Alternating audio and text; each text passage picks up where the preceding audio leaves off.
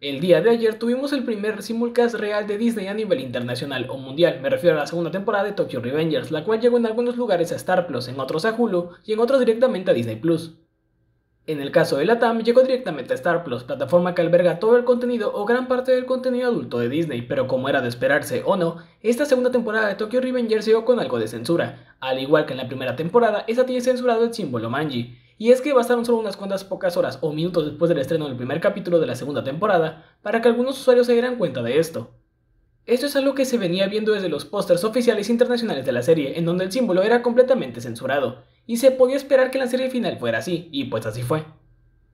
En este caso, por momentos la censura es algo más que discreta, ya que solo fue difuminada de la ropa de los personajes, aunque por otros, volvieron a usar la franja de luz que se había utilizado en Crunchyroll.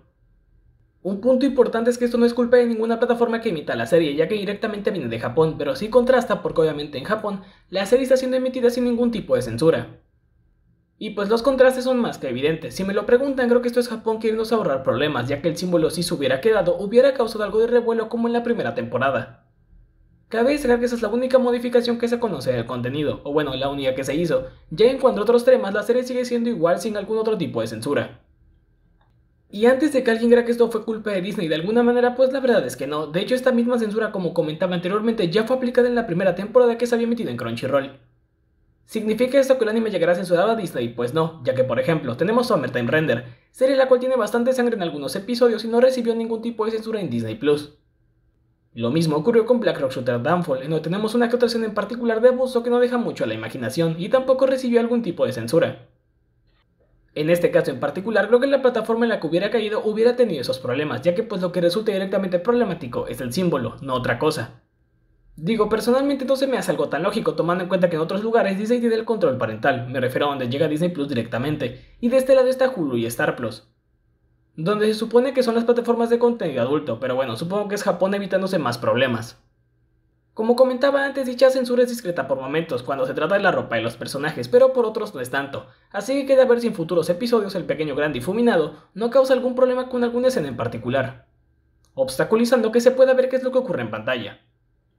Si bien eso ocurrió por parte de Disney, recientemente a Crunchyroll llegó la serie Onichan wa Oshimai, serie la cual desde su sinopsis ya es algo rara, y es que es un anime que termina por tocar uno que otro tema que pueda llegar a ser considerado polémico. Para empezar, la sinopsis es la siguiente. La historia se centra en Mahiro Oyama, un tipo común y corriente que ama los juegos eróticos, sin embargo todo esto cambia ya que un día se despierta una mañana como una mujer. Y resulta que su hermana Mihari probó sus experimentos con él, y esta está decidida a estudiarlo de todas las formas. Básicamente es un chico que se convierte en una chica por culpa de su hermana, pero ¿cuál podrá ser el problema? Existen varios animes con esa temática de cambio de género y no terminan por ser tan relevantes en varias ocasiones. Pues en este caso la polémica está relacionada con la apariencia de los personajes, los cuales lucen como infantes, y es que en recientes semanas o incluso meses Norteamérica en general ha tenido un tema ahí con estos diseños de personajes. Ya que tenemos que en un principio Twitter prohibió el tema de las lolis. Sí, ya sé que en este caso el personaje no lo es porque es un infante y pues tiene el aspecto como tal. Posteriormente lo hizo Pixip si mal no recuerdo y ahora también Estados Unidos en general tiene esta especie de propuestas raras en las que catalogan estos diseños como algo más allá de lo que son y que pueden incitar a cierto tipo de conductas. Por lo que era medio obvio que en Japón iban a dar un paso en falso con un anime que dejara en claro ese tipo de temas tan explícitos. La censura ocurre en momentos en particular, ya que en la versión censurada vemos al protagonista ahora convertido en chica en ropa interior, pues la versión con censura prefiere dejar la imagen estática en una toma en la que también se hace alusión a que se está cambiando. Otra viene en una escena de un baño, ya que se le agregó más vapor para que ciertos aspectos quedaran ocultos. Como comentaba antes, eso viene directamente de Japón, y el anime de por sí no tarda en convertirse en objeto de polémica dentro de unas semanas, pero a ver, jugando abogado del diablo, esta no es la primera vez que Crunchyroll tiene una versión con más censura, ya que en Aremite Labyrinth la versión que habían adquirido al principio tenía bastante censura, y la que tuvieron posteriormente no, después de la transmisión simultánea. En este caso dudo mucho que algo así pueda pasar, debido a que no se trata de que en Japón se comercialicen más versiones de la serie como una estrategia directamente a la antes mencionada, es que así les están llegando los archivos que se suben. Por lo que si tomamos de ejemplo otros casos como Tokyo Revengers temporada 1, pues la censura sigue ahí, y ese casi es bastante similar representado aquí, Personalmente este tipo de censuras no las veo tan mal, la serie no se centra ni trata únicamente de eso.